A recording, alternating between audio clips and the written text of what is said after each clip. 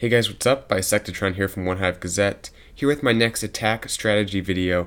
And uh, it's been a little while since I've done an attack strategy video, and um, might have a number of them coming out soon because there's a whole new uh, dragon, you know, Queen Walk, Zap Quake, Dragon Attack at Town Hall 9. Uh, there's a surgical Go we at Town Hall 9, and there's also this, the Mass Witch strategy at Town Hall 9, which is very it's very cool to see all these new types of strategies come out because um, they're they're all effective in their own ways and uh, it, it really frees up the attacker to choose you know how to pick apart a base and just really choose the right attack for each base. But anyway, uh, we're going to take a look at a few Town Hall 9 uh, Mass Witch attacks, talk about where, what base you want to do it on and how you want to do it. So uh, the first thing you should look for is kind of an open base. If it's too compartmentalized, it's not going to be good. Too many walls for your witches to have to uh, go through, and uh, it helps to have a lot of jump spells. You can see Spartan here is bringing four jump spells, uh, so its entire base is pretty much going to be opened up. Now, a lot of times, actually almost all the time, you're going to want to have a queen walk uh, to some extent, or at least some hogs. The idea is that you're going to try to take out all the splash damage, and you can see right here, look what the splash damage is. You have one, two, three, four, five, six. Six of the eight is all on that left side, all accessible to a queen who walks like that. Um, there's these two right here, but you know, if if he sends in all his witches, and we're talking what five witches plus two in the CC, so seven witches all coming through here with golems out in front, especially at the beginning of the push. Um, these aren't going to be an issue. I mean, there's way too many witches, golems, wizards, the king. There's just way too much there. Um, and I believe he sends a few hogs in here to take out that mortar. So basically, the idea here is you're almost always going to want to do a queen walk. But if you see that all the splash damage is kind of concentrated on one side of the base, or at least it's all on the outside, so you can target it with some hogs. Uh, you can you can get the job done pretty easily um, if you do a queen walk to take out some of the splash damage, and maybe drop you know two hogs on each mortar, three hogs on the mortar, two to three hogs on a wizard tower, and just take out those splash damage. And the witches um, are going to do very well against just X-bows, archers, towers, Teslas, cannons, all that stuff that does point uh, defense damage because they spawn the skeletons so fast and in such big numbers, um, the point defense can't keep up with the number of skeletons. So this is a great base to do it on. But like I kind of already said, starts the queen walk, descends her down this way. Uh, you know, getting all this splash damage taken out. Uh, it does take a little while. And then I believe he comes in with the witches here, just drops a jump, lets the witches come in, and then has a few jumps just to let them move all around the base. Um, I don't remember where he drops all four of the jumps specifically, but I think he might drop one down here. Uh, just let them keep making their way forward. Uh, and then we're going to look at one more attack after Spartans, but we'll start with his attack. Uh, what he does, what is really nice here, is as the witches are making their way through here, drops, like I said, a few hogs right in this mortar, gets it taken out, and obviously this wizard tower will go down real quick to all the troops he's sending in. Uh, so let's go ahead and take a look at this attack as it actually happened, and then we'll keep moving forward. Alright, so let's load up the game really quickly. This comes from the war with uh, Cold September, which I will. I'll make sure to do a, re a, recap of this one, but for right now, just doing the attack strategy video. I uh, just happened to be in this order. So anyway, starting off with Spartan's attack, uh, goes ahead and drops the queen down. Like I said, um, pretty easy funnel. Just drops a wizard there, and she's going to make her way up uh, to the west. Not no issue of her walking around. She'll step up. You can see the three splash damage, all accessible to her right there um, and not not even that much point defense. So only needs three healers, uh, which is really nice. You don't want to have to bring too many healers. Four is usually a maximum for this one, just because the queen is not entering the base, so not going to be a whole lot for her to take out. But right here, steps up and takes out the mortar, and then she'll continue on her walk. So uh, drops a few hogs right there. Uh, take out that archer tower. I was, well, actually, yeah, oh no, get the CC lurks. I, I was wondering if the if the archer tower was uh, was out of range of the CC, but apparently not. But uh, didn't mention this part. Just throws out the CC, has a poison, uh, drops it, takes out the archers, Queen will get the dragon taken out despite that air sweeper pushing the healers back. So no big deal there, no point defense on her. Now here come the witches and the golems, just basically spreading out the witches a little bit, which is nice, just to make sure the skeletons kind of go through, not all in one huge wad.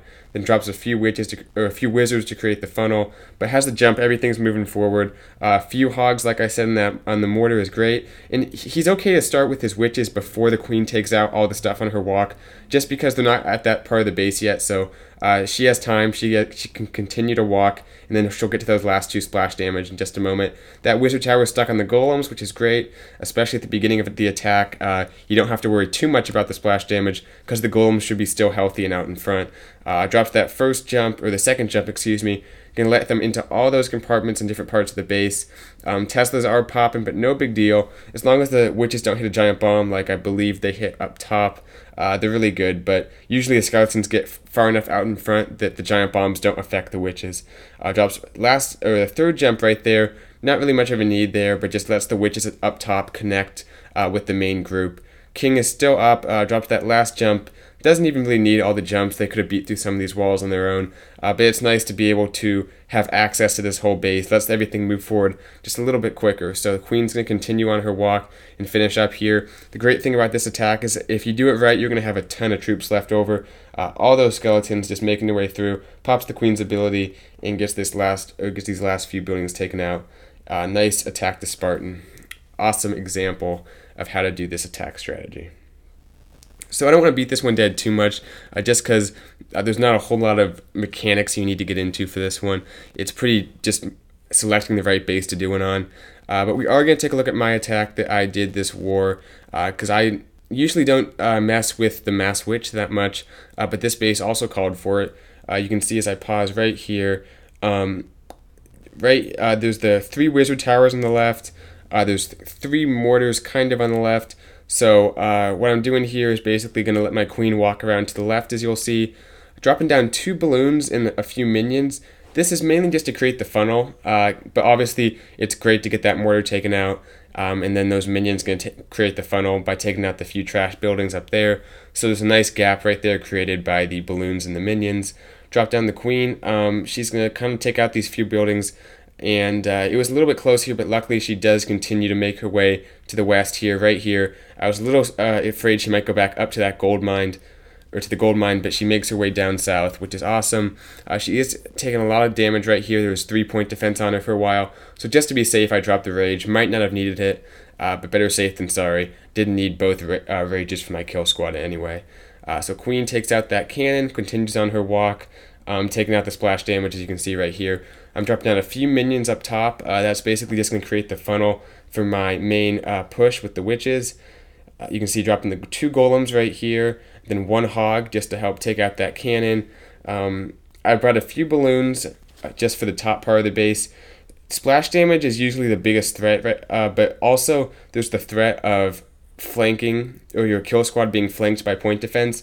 So that cannon and that archer tower up the, at the top there by the queen, they're definitely uh, could flank my witches because the witches will probably move forward towards the clan castle, and the skeletons will run out in front, and the witches will be the first thing to be targeted by those two point defense. Uh, so I want to bring those balloons to make sure that the uh, all the defenses are in front of everything, so the skeletons and the golems are tanking and the witches are safe behind. Drop the rage. Uh, my queen does go down. She lost all her healers, but she's basically done her job. She's gotten all that splash damage shaken out. Here come the few balloons, which I dropped. The king did go over anyway, but uh, the balloons are uh, helping out, taking out a few cannons and stuff.